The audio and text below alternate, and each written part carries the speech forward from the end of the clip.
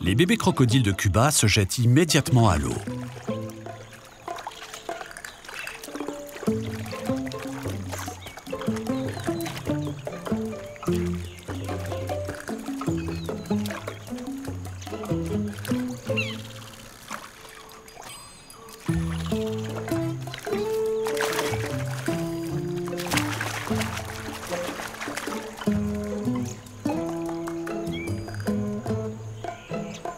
Leur mère ne fait presque plus qu'à deux.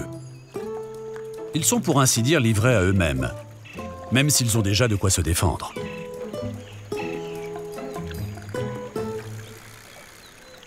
Un crocodile de Cuba n'a besoin de personne pour apprendre à chasser.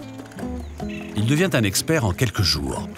Coléoptères, insectes aquatiques, têtards, petits poissons, tout ce qui rentre dans sa bouche est bon à prendre.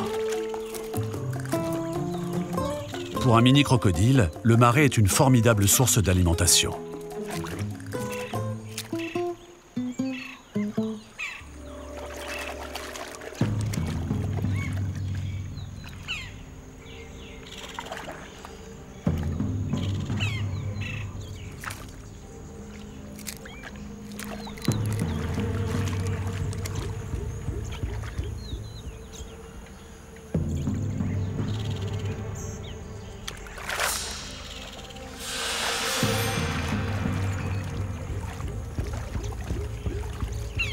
Le crocodile de Cuba n'attend pas d'être adulte pour préférer manger dans son coin.